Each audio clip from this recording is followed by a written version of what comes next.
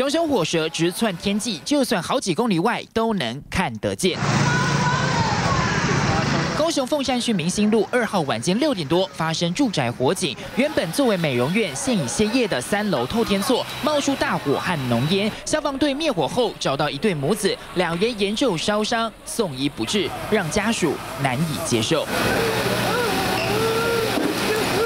啊，看电视啊，去买饭要等去食啦，唔知发生这代志啊。我到位要，要到位看你烧啊。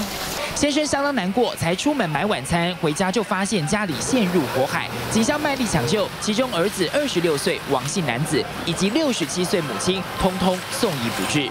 不排除一些因素啦，就所综合各方的一些意见哦，再做一些。在做一些调查，因为比较少火警，我们消防队到现场是一到三楼全面燃烧的。